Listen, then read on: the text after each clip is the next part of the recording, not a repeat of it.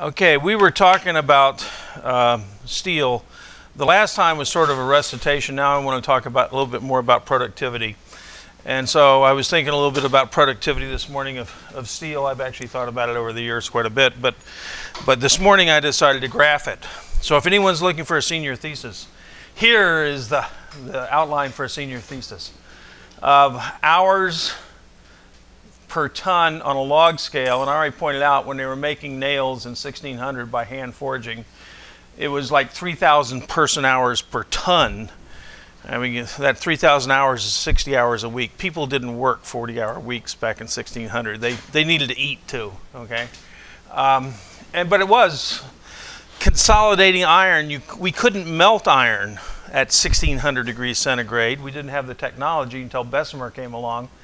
And so people would start with spongy, solid state diffused iron, or they'd start with cast iron and just keep beating it in the forge until they burned out most of the carbon and they ended up with something that was a high carbon steel.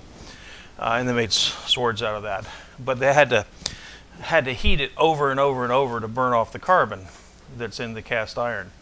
So Bessemer came along in 1856 or whatever, and he taught us how to melt steel, and I'll show you that in a second. Carnegie came along and became the richest man in the world ever, okay, in, in today's dollars, uh, because he just applied economies of scale. And I've estimated some of these numbers in here. I have no idea what the productivity improved from 1600 to 1800, but it, I'm sure there was some improvement in productivity. They built larger furnaces and things like that, and they learned to do things better, but it was a, a gradual increase. But when we learned to melt the metal, that's why Bessemer was, Bessemer's invention was so great. We now could burn the carbon out in the liquid state, get much faster kinetics for all you material science kinetics folks. Carnegie came along and actually he made a lot of money, but he probably didn't improve the productivity all that much. It was still very much labor intensive. All of this was labor intensive. And then um, some of the numbers I do know. Um, back probably in World War II or something, uh, we were up here in the number of tens of hours per ton, still labor intensive.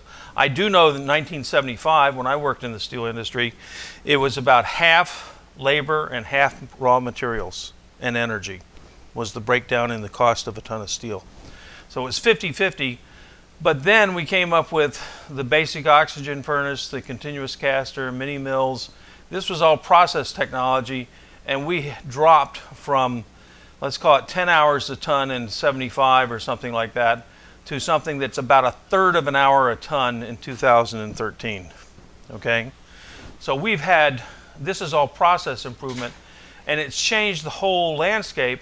It used to be how cheap was your labor, um, and now it's how much is your energy cost. Because raw materials and energy cost are directly related too.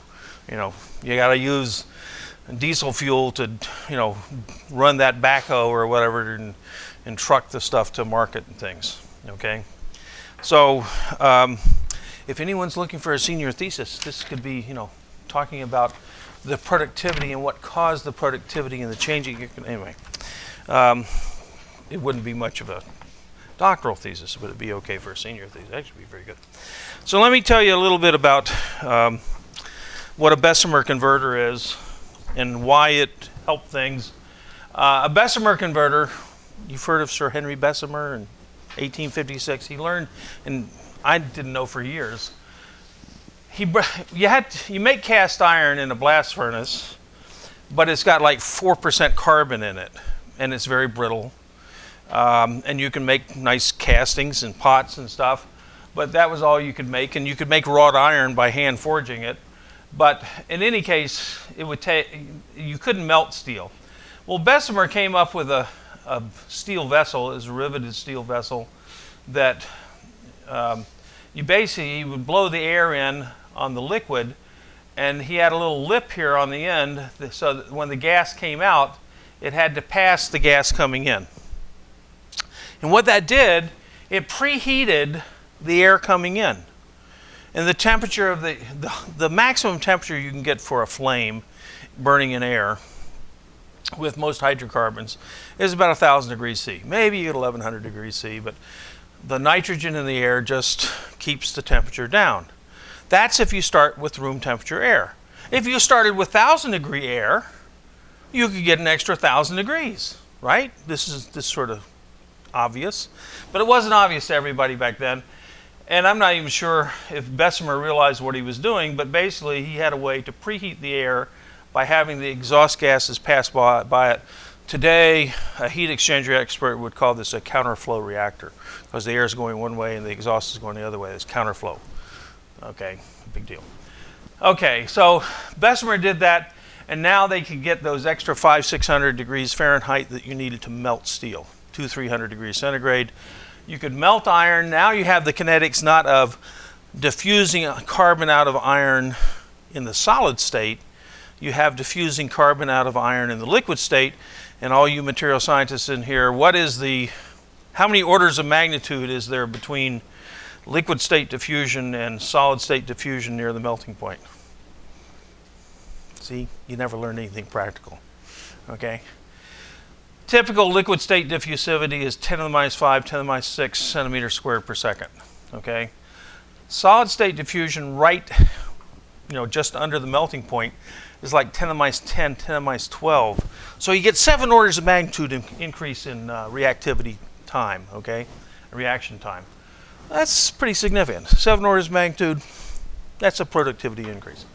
So what Andrew Carnegie did, he started making open hearths, and so you would have this container that would hold the, the iron ore and everything, and you want to melt it. And this thing would be uh, the size of three of these classrooms in area. I mean, just in a thin layer of steel because you're going to blow the gases across here. I didn't have the gases blown across here. Okay, so I'm going to blow the air in here across the surface, and I want lots of surface area. This wasn't a very deep bath, a shallow bath, lots of surface area because I'm still getting a reaction at the interface between the air and the liquid, except the air would first go through some brickwork. There would be some brickwork next to the blast furnace or the uh, open hearth furnace, about half the size of a football field, and about two stories tall. They would just make a lattice work of bricks inside a, a, uh, a building, or you know, and they would blow the air in through these bricks and combust it, okay, with with the fuel, which was probably um, coal gas and then they would exhaust it out the other way through this other brickwork. Heating up these bricks, doing nothing initially to these, but heating up these, and then about twice a day they would reverse the flow of the gas through the brickwork. So they're going to preheat the brickwork, which is going to end up becoming when you reverse the flow and come the other way, okay? You come the other way with the, with the air later, six hours later, you're going to preheat the air by these hot bricks, okay? And that was how they got preheated air rather than the Bessemer converted converter. Now this technology is still used today in glass making, okay? In glass making, for you can't have any carbon around. Carbon gets in your glass and you get black specks, okay, in your glass. People don't like that. So they actually use natural gas, slightly oxidizing flame, so you don't have any carbon soot particles. But they want to get a high enough temperature, so they actually still, and I've walked through these in glass factories, as recently as 15 years ago I walked through one. Um, they have this big lattice work of brickwork, and they run the gas through this way, to heat up and have the exhaust gases going through another set of brickwork. And then sometime later, when those bricks are hot, they reverse the flow and put the cold gas through the hot bricks, and then have the exhaust going through the cold brickwork. Okay, and you just keep reversing the flow, and you can run these glass furnaces for four or five years at a time. Okay, unless in this particular one they had one of the reversing doors where they have to they have these big steel doors they have to lift to, it's basically just a big valve to shut off the gas. And one of them got hung up. They couldn't close it, and they just started overheating the brickwork. They couldn't, they couldn't close it. They had to close it within five or six hours. Couldn't do it. Had to shut the whole thing down, and it takes about three, four weeks to start it back up. Okay, so lost a lot of production because of just worn, one worn out door, door rung. A, a time of who? Well, yeah, and there's actually a good PBS special on Carnegie, okay, that actually goes through this. Other people were doing it. He was just pretty good at um, beating down um, uh, the labor cost, okay? I mean, he, he, was actually a wonderful man in many ways, okay? Uh, he, he loved education. That's why we have Carnegie Tech, you know, Carnegie Mellon University and stuff. Uh, he, lots of libraries are named after Andrew Carnegie. He only had 13 months of education, and he always felt deprived, and so he wanted to make education available. In fact, my grandfather got money out of. Did I, I haven't told you my story of my grandfather and Andrew Carnegie. So my grandfather was born during the Civil War in the South Carolina, and it turns out my great grand great great grandfather is probably the richest man in the South. He owned I don't know if I should say this on tape, but he owned over 300 slaves. Okay, and he gave my grandfather a slave when he was born, and that slave kept my grandfather alive for a year during the Civil War when he got separated from his mother for a whole year.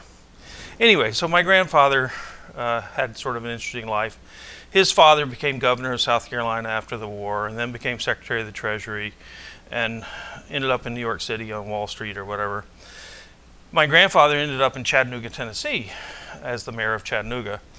And he decided Chattanooga needed a university. So he, he got John D. Rockefeller, and I don't know how this worked, but to commit $250,000. If they could raise another $250,000, they'd have a half million dollars to start the university. They went all through everybody in East Tennessee, and they were still $25,000 short. So my great grandfather, who had been Secretary of the Treasury, knew Andrew Carnegie, and got my grandfather and another guy an audience with Andrew Carnegie. See, if you ask this story, I can tell my other stories, right? So it turns out, um, so my grandfather took the train to uh, New York, and he met with Andrew Carnegie, and uh, this all comes from my grandfather's autobiography. Anyway, he said, Andrew Carnegie said, well, I tend not to dabble in John D. Rockefeller's charities. Okay, so he's basically telling him no. And as they were walking out, my grandfather said, you know, the people in the South really need a better uh, need better education. We just don't have schools and stuff after the Civil War. I mean, this was a combat zone, right?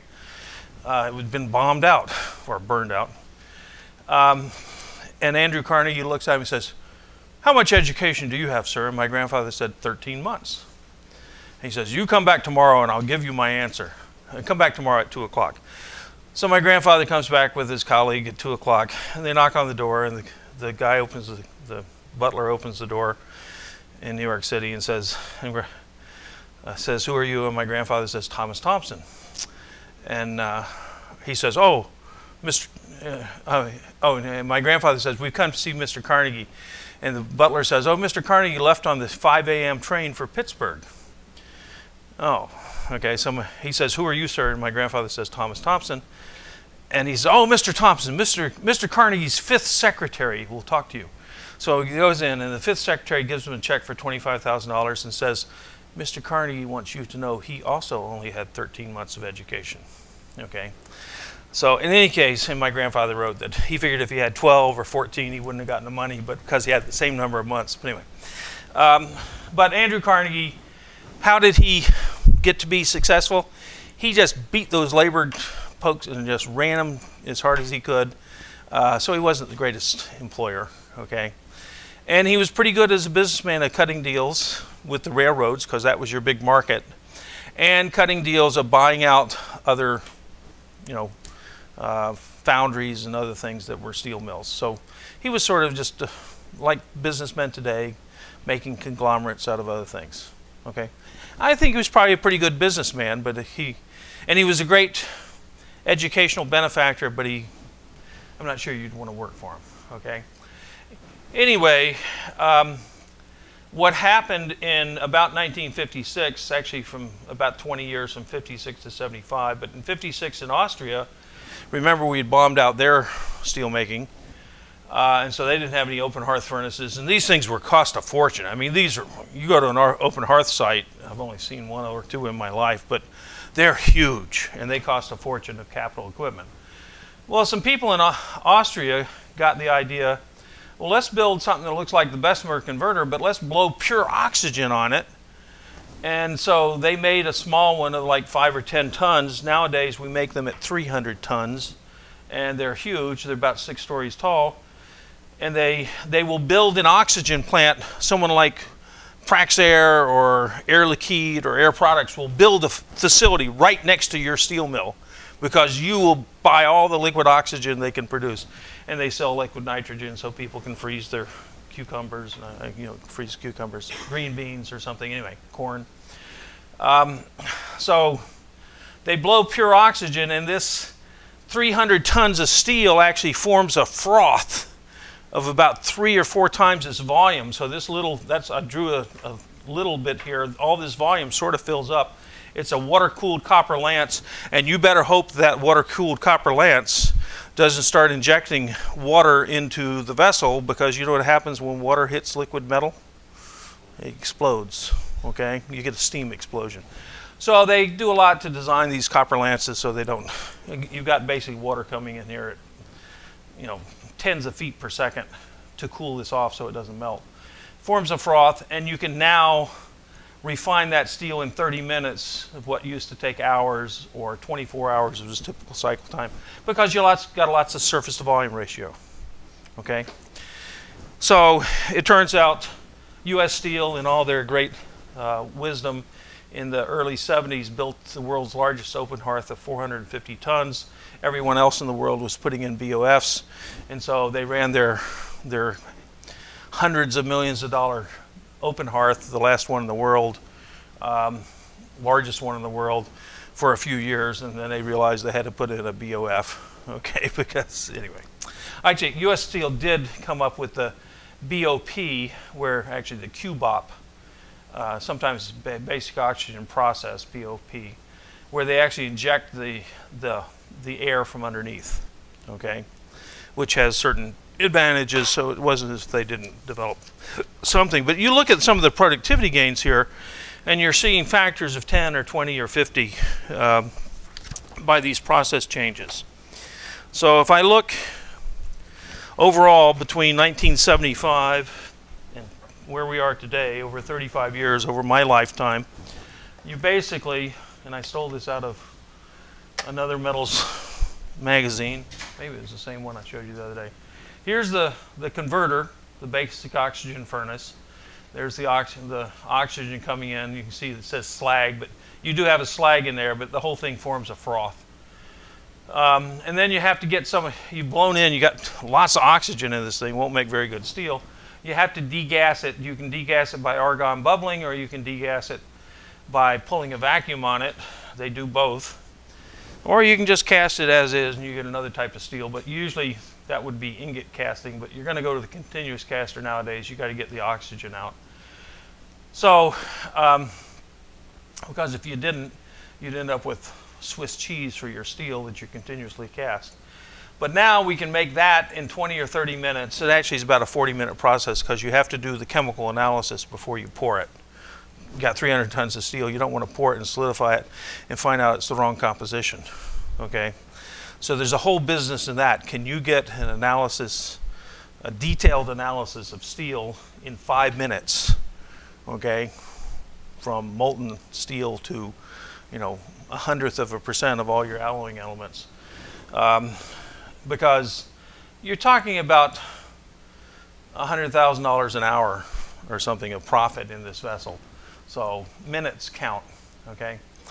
Anyway, you, you pour the, the liquid into a ladle, and then the ladle goes to a tundish, which is just a bathtub to hold the stuff, so you get a nice manifold, if you will, of flow. And you melt the molten steel. You got a mold, which is water-cooled copper, and you have rolls, and the steel is still hot. In fact, it's still got liquid in the middle. And you roll it because this whole thing is going to be about six or seven stories, maybe 10 stories tall, in order to have a large enough radius to roll this 10 inch slab of steel. Okay? Um, and then you, you have to cut it on the fly. And they will run continuous casters for a year without shutting down.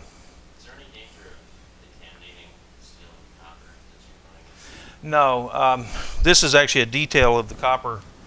This is the, the tundish, okay? Which has a little slag layer on it and stuff, it actually freezes against the copper. It's water cooled copper. The startup can be a little dicey, but you only have to start up about once a year. okay? And once you get running, you actually, because of the cooling, the stuff pulls away from the copper. Is there a problem?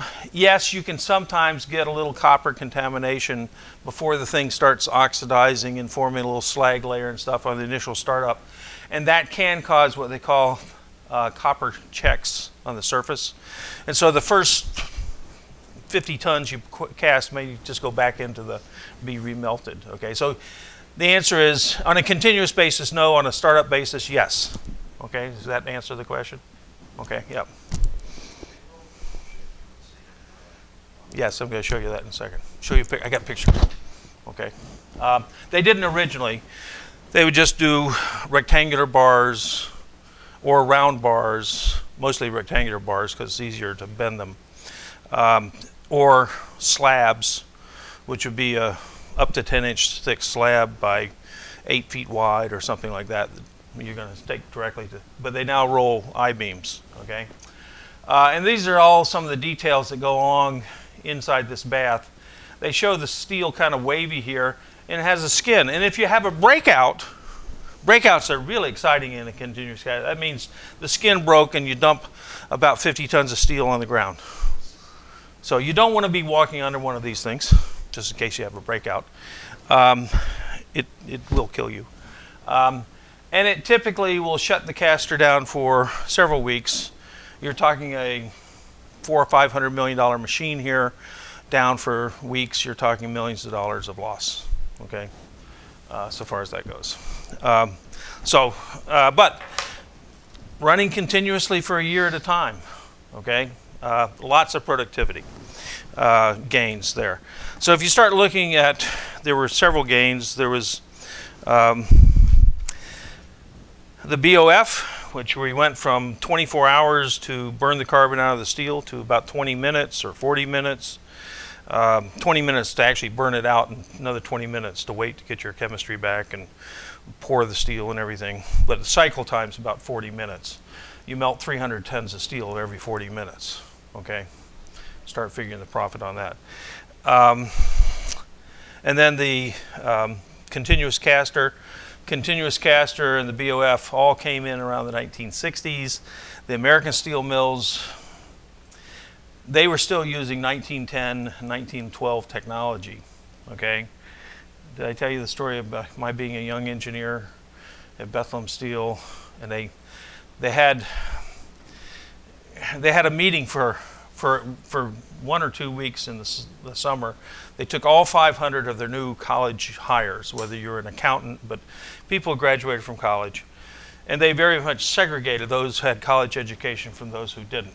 Basically, the hourly workers from the staff, salaried workers. It was a real, you know, rich man, poor man type of society there. Uh, but um, they would they would put us in an auditorium for half a day, and then in the other half of the day, they take us down to the plant. We'd actually get to see how steel was made on large scale, which is pretty dramatic. You also learned why you went to college. You didn't want to have one of those jobs. Okay, uh, wonderful hospital where my second child was born, because the steel company had built the hospital for all the iron workers who had lost their arm or their leg, you know, in accidents. I mean, it was just a factory to, to maim people, okay? uh, back in the old days. Nowadays, they all sit in air conditioned offices with computers, and anyway. Uh, but back the, just 40 years ago, it was it was a real hellhole to work in a steel mill. And in Andrew Carnegie's day, it was a lot worse. Um, but in any case, they uh, the rise, the next big rise in improvement, the thing that dro dropped it down to 30 minutes a ton or 20 minutes a ton for production was the rise of the mini mills. About 1975, some guys looked at the price of scrap and they realized you could buy steel scrap for $100 a ton. And it cost $180 to make cast iron. And someone said, hmm, $80 a ton extra profit on a $300 uh, a ton product, sale product, I could make money on that. But they had to, they couldn't build these huge things. They started building small steel mills that might only cost $250 million rather than $5 billion of capital equipment. And they built these things and they used electric furnaces, and that's where the, the big steel companies all laughed and said, you can never make good quality steel out of an electric furnace. Um, you have to have virgin iron ore and, and all this other stuff. They laughed at them. Well, the mini mills make about 60% of all the steel today. They just kept on eating away. So if you read something about, well, anybody heard of the book The Innovator's Dilemma by Clayton Christensen? None of you heard of it. About 10 or 12 years ago, this was the, the greatest thing in business management. Uh, Clayton Christensen is a professor at Harvard Business School, and Clayton uh, um, uh, was writing this book in the mid 90s. And he's got three examples of the innovator's dilemma. And the innovator's dilemma is whether you're digital equipment trying to build mini computers where an IBM's trying to make mainframes, you're coming in at the bottom of the market and the the innovator was IBM making computers and they started making bigger and bigger and fancier and fancier and more expensive computers. Digital equipment came in and took over the bottom end of the market and ate away at things until mini computers got to be as powerful as, you know, powerful enough for desktops. That's one of the examples. Another example is the mini mills taking over the integrated steel mills. I can't remember what, he had three examples. It became in the top 10 on the New York Times bestsellers list and all this other stuff. I'm actually referenced in there because my daughter, one summer while she was in college, got hired by Clayton to do some research. And she was supposed to find out what it cost to build a steel mill. And she came home one night and she said, Dad, I can't find anything. I've been looking for a week, can't find anything about the cost of building a steel mill. And you, you know where I could find the data? I said, Well, I've got a slide I can give you. And so the next day I brought in my slide, and that's why I'm referenced. And I estimated that it cost Bethlehem Steel in 1965 through 70, $5 billion to build the Burns Harbor, Indiana plant. I think I told you, since then, no, no private company has ever built a steel mill because it would cost 10 or 15 billion dollars today, maybe 20 billion dollars to build an integrated steel mill. Only countries have back, bankrolled that. And I mentioned that's the same thing with Boeing and Airbus, you know, designing a new airplane, Intel putting in a silicon foundry these investments get so large that it has to be a country that subsidizes it uh, because no company can take that type of risk. Well, in any case, um, you want to know where the data came from? I sat there in Saginaw, Michigan at an airport with one of my graduate students after visiting G GM back in the early 90s, and I said, I said, well, I was thinking about this problem of integrated mills and mini mills and and stuff. And I just scratched out the numbers. I just pulled them out of my head. But they're right there in Clayton's book. so if you wanted to know where's the reference, well, actually, I'm probably as good a reference as anyone else. You know, what the heck? Anyway, so you wanted to know what happened to the mini mills. The mini mills originally wanted to make the garden variety, the cheapest stuff is concrete reinforcing bar. It just has to be the right size diameter and it's got the lowest price per ton of virtually anything. And so this company called Chaparral Steel, which was started by a guy, Gordon Forward, who was a graduate of this department back in 1975. He saw the $100 scrap price versus $180 cast iron price, and he was one of the guys said, you can make some money there. And he started Chaparral Steel down in Texas. Um, and anybody know how to spell chaparral? Yeah. Anyway, as Gordon says, you only pee once on chaparral. Um, a lot of people try to put two P's in. Anyway, um, Gordon's actually a great talker. Uh, anyway, so this is one of Gordon's slides. And they started out instead of square slabs out of the continuous caster, these were the first slabs that they made that just had kind of notches to reduce the amount of rolling in the rolling mill. And Chaparral was going beyond rebar. They were going to try to get into the business of structural shapes. And eventually, they got, I don't know if this one will even show up. It's not going to show up. Uh, let's see. Oh, you can kind of see, here it is. This is what's coming out of the continuous caster as of about year 2000. Oops, have I got it? Yeah, you can see the, here's the I-beam shape. It's almost an I-beam, but it's actually cast. Um, but in fact, um, they were very successful such that in the 1990s, when everyone else was importing steel into the United States, they were exporting steel to Japan. They were down in 1990 to one person hour per ton. Net shape casting of structural drove costs down by one third to the point that concrete could no longer compete against steel for building construction. Um, well, I'll talk about four strand rebar rolling. The new facility they were going to put in was going to be in 1990 was going to be 0.8 man hours per ton, and they had sales of $450,000 per employee. Why is that important? Anybody know what the typical sales per employee of a company is, manufacturing firm in the United States? It's about $150,000 per person. In fact, I had a student do a thesis at the Boeing Door Product Center once. This is where they make the doors for the aircraft. There's five or six doors on a, on a 737 or a 747. There's the door you walk in. There's often the door on the other side where they bring the catering in. There might be a couple of them, there might be three or four emergency exits. There's usually a rear door, you know, ramp and stuff. There are all kinds of different sizes from the emergency exits to the, the full scale door. And in the cargo planes, they have doors the size of a garage door, okay? So, but the door manufacturing center at Boeing was a very interesting business. It was the completely deterministic manufacturing. You knew what your order book looked like three years ahead, and it only took you one year to make the doors. Because the aircraft got ordered, and they started laying the keel of the aircraft three years ahead of time, and you had three years to get your doors made for that aircraft. You may not start until you know two years later, but you knew exactly how many aircraft were going to be built and how many doors are going to be needed and what their shape was going to be and everything else.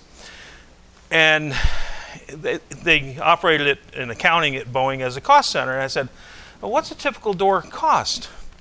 Because every rivet hole they drilled three times. First a rough drill, then a reaming drill, and then a, it was a third time, I can't remember what it was, to get everything just right. It was all hand work. A guy with a drill, okay? And I watched all this and said, what's it cost to make a door? Well, we don't know because we're, we're a cost center and we don't you know, we only sell to Boeing, and so there's no price change. And I said, well, how many employees do you have? They said 250. I said, well, how many doors do you make a year? They said 750. I said, oh, okay. Your doors cost on average $50,000. And one of the managers says, oh, yeah, that's probably about right. They didn't have a clue what their doors cost, okay?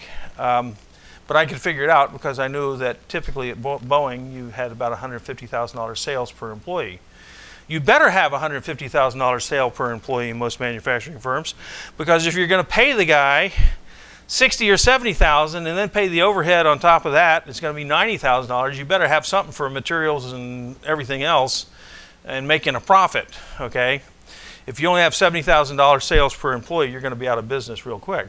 So $450,000 sales for, for an employee, per employee is a very good business, okay? It used to be one of the metrics I would use when I worked in manufacturing over there. Um, of without people knowing it, I would ask, you know, how many employees, what are your annual sales? I'd do the division in my head, and I could figure out right away whether this was a good company or not. Yeah, okay. Well, maybe that's the problem. Okay. Um, the sun has come out. Okay. So let me tell you about four, stand, four strand rebar rolling at Chaparral.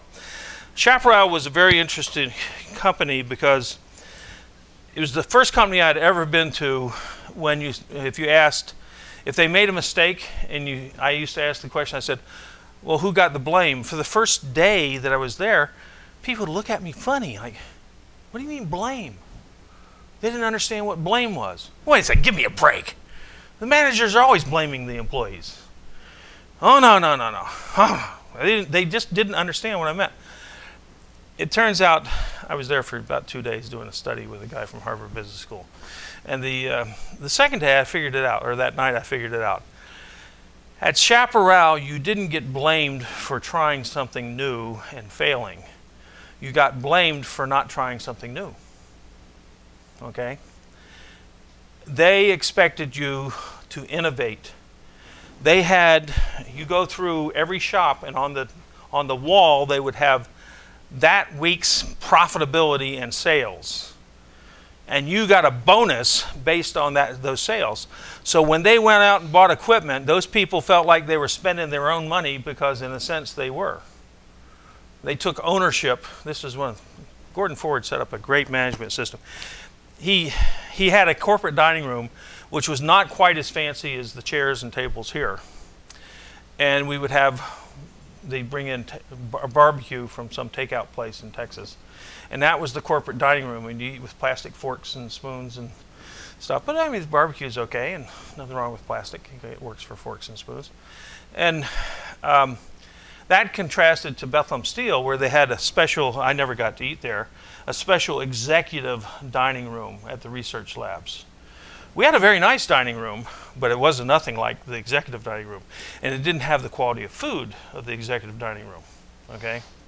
There's a great story, the only one I remember in Iacocca's book about Ford, uh, Henry Ford, or whichever Ford it was at the time, that was chairman of Ford Motor Company while Iacocca in the 80s was used to love hamburgers and he'd eat wherever he go around the world. He'd he'd have he always wanted a hamburger for lunch, and he came back. He said, "You know, I never get hamburgers anywhere near as good as I do here in the Ford corporate executive dining room."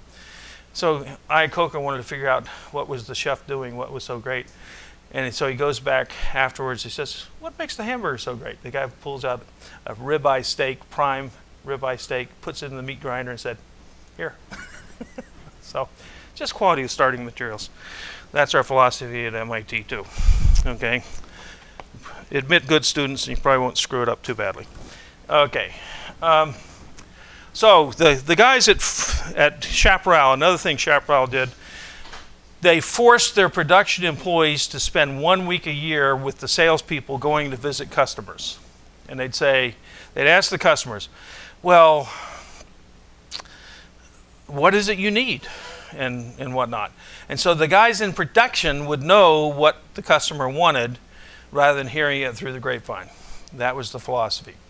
Well, when they went out there, they found that rebar comes in, in sizes.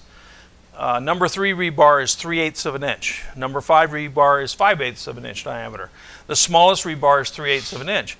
And it turns out they found out there was like a 20 30% premium per ton for 3 eighths inch rebar.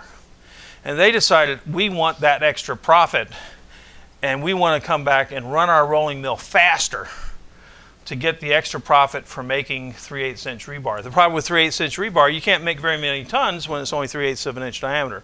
You can turn out a lot more tons at 5 8 right? 5 8 is 25 over 9, almost three times the tons per inch if you're running at the same rate. Um, I was squaring, right, to get the area. You guys all figured that out? Okay. There are these little tricks. You already know these things, okay? Uh, anyway, so they went and they tried.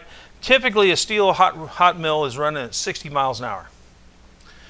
So they tried to speed up 70 miles an hour. It turns out there's some instabilities. The stuff starts getting waves in it and stuff when you go too fast.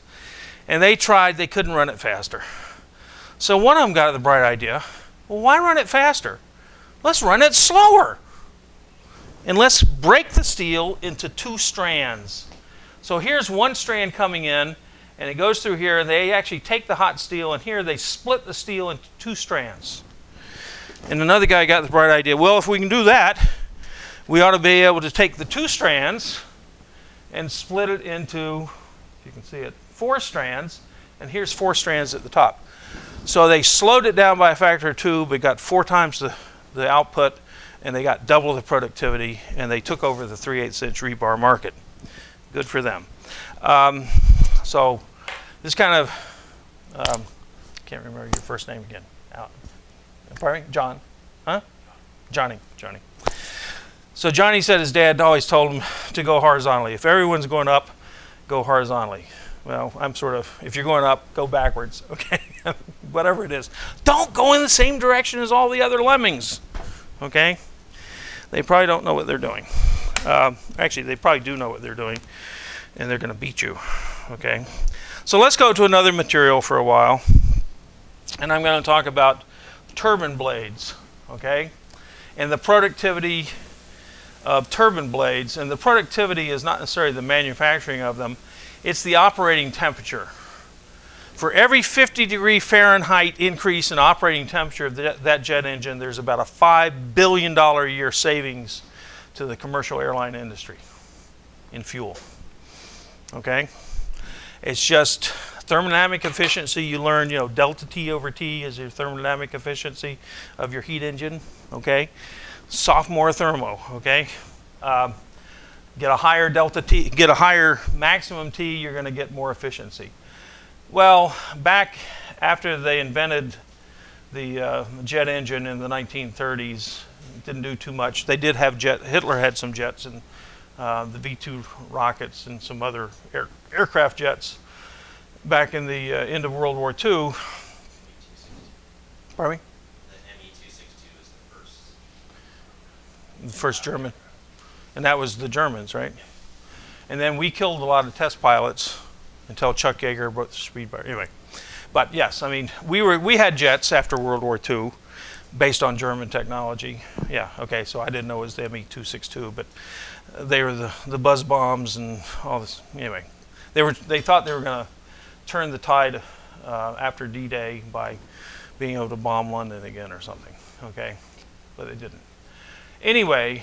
Um, uh, jet engines were operating at about 800 degrees C, 1500 degrees Fahrenheit. They were using materials like stainless steel, cobalt. They started getting into cobalt alloys, uh, nickel-based alloys, uh, and these are the metal alloys and the uh, operating temperatures. This is the firing temperature, which is hotter than the actual uh, thing. And you can see that until about the 1970s, the firing temperature was following the material's maximum temperature, and this was all metallurgy improvements, okay, course three.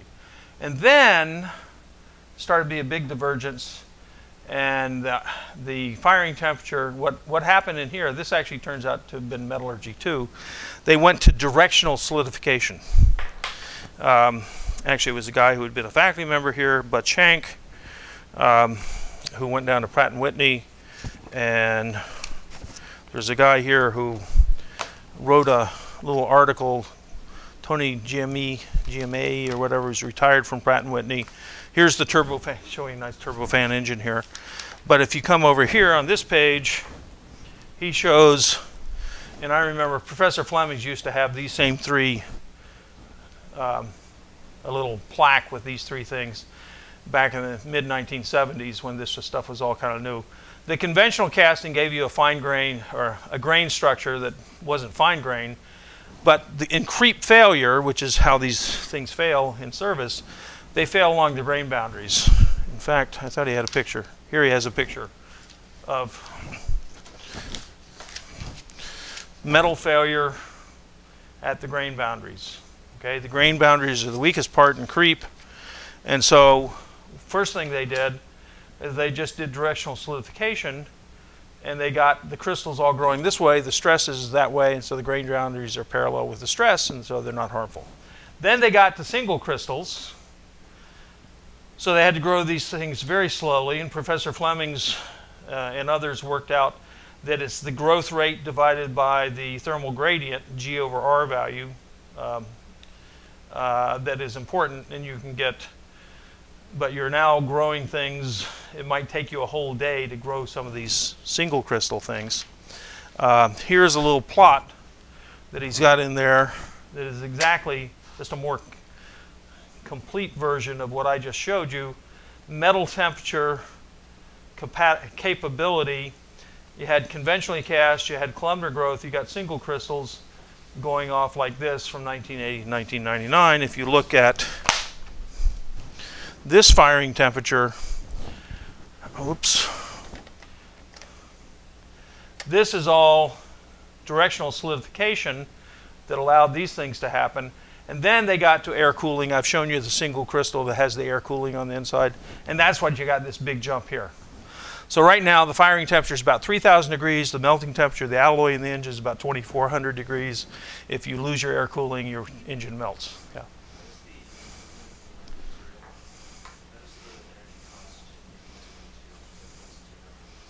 Oh, these things, this aerospace stuff.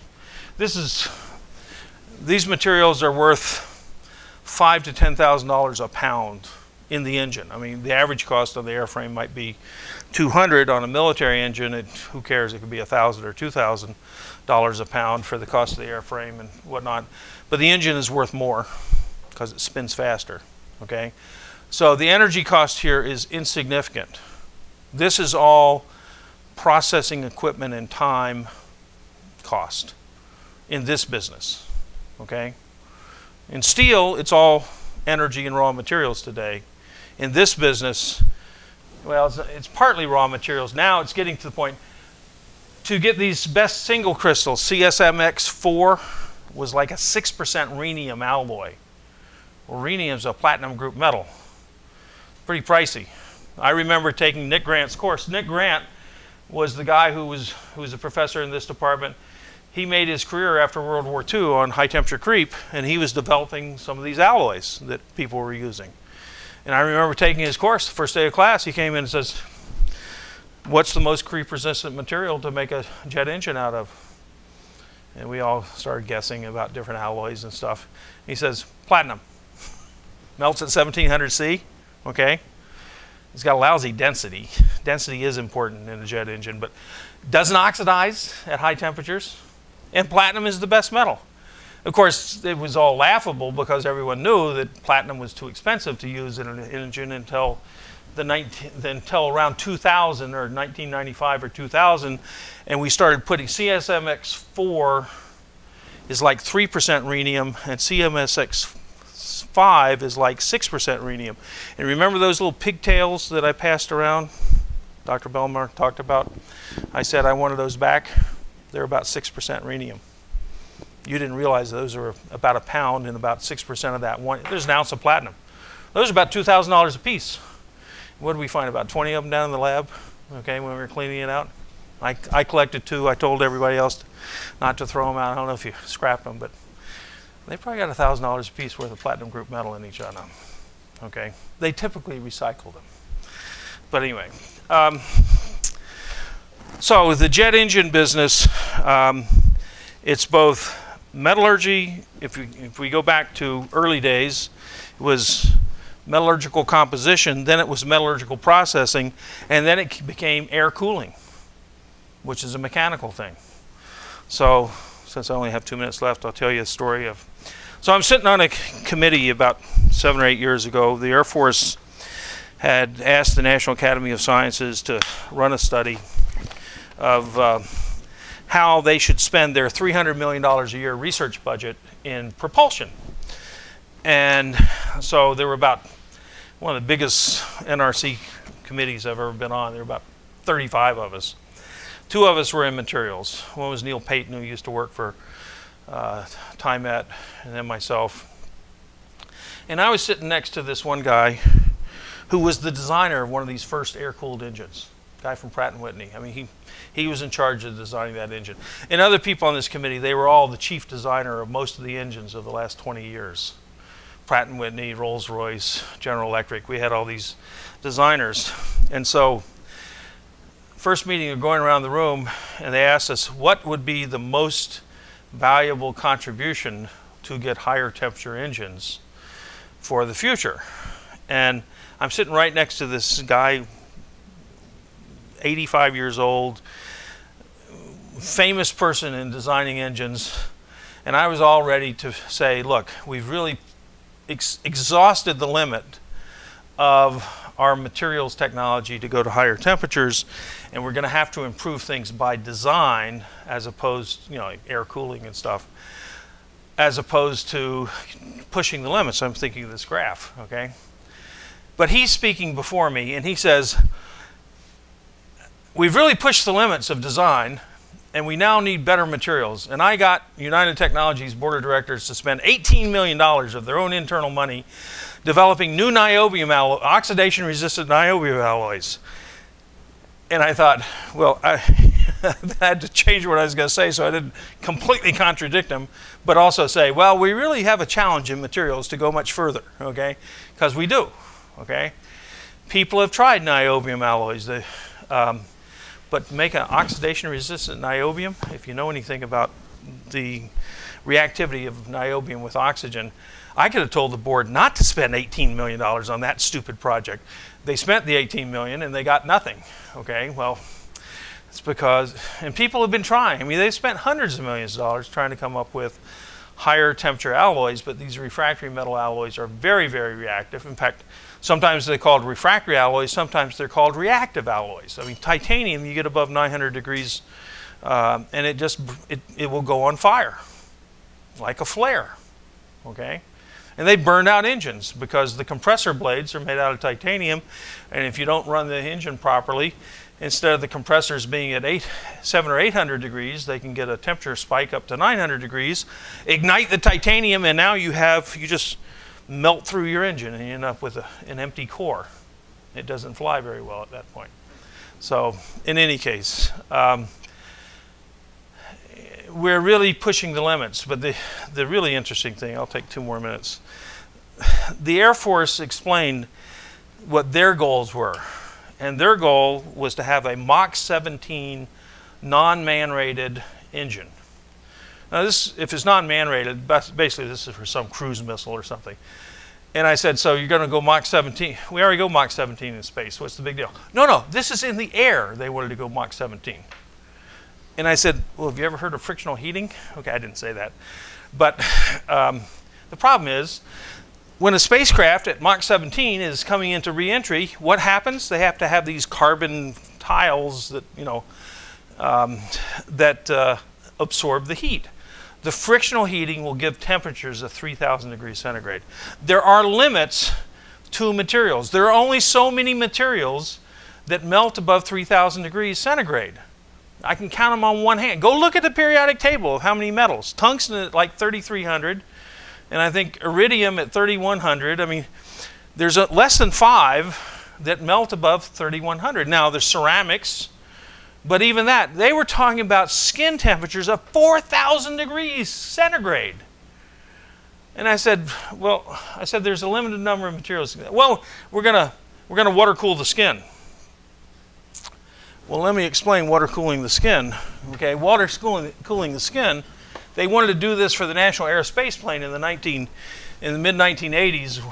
Um, they were going to have about a three millimeter thick piece of copper, and they wanted copper for thermal uh, th for thermal properties. They're going to have liquid hydrogen as the tank of the fuel on this thing, and they're going to have 4,000 degree or maybe back that it may have only been 3,000 degrees centigrade frictional heating in air on the outside. Now you want to rely on that? If you have a leak, what happens when hydrogen comes in contact with air at 3,000 degrees centigrade? Kaboom! Okay? This was, these, there's people at the Air Force who dreamed these things up. And they spent billions of dollars trying to design a national aerospace plane. Well, they were going to do scramjets to get Mach 17 in air. And I, I, I was sort of stupid. I said, well, they, another one of their goals is they wanted to have a plane take off, be light enough, take off and fly 25,000 miles around the globe and land. And I said, well, wait a second. You should only have to go 12,000 miles to get anywhere in the world. They said, no, no, we cannot expect to have any bases in the future anywhere other than the continental United States.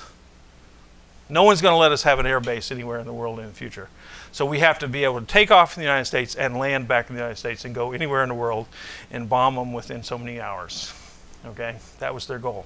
Well, a nice goal, but I don't know I want to pay for it as a taxpayer.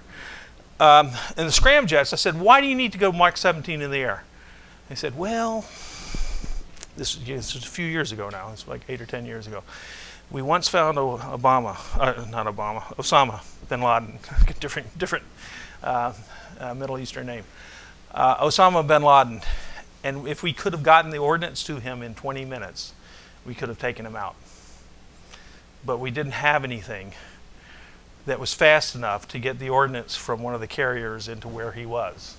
They located him, but they had to get it there in 20 minutes, and they would needed something that could go Mach 17 in order to get into Afghanistan or Pakistan or wherever they had found him within 20 minutes. So they have these goals.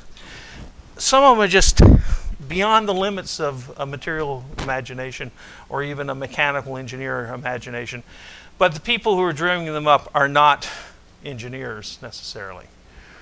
They're people who, you know, watch Star Trek in their youth and they believe that everything on Star Trek is real. So, okay, I'll see you uh, Monday.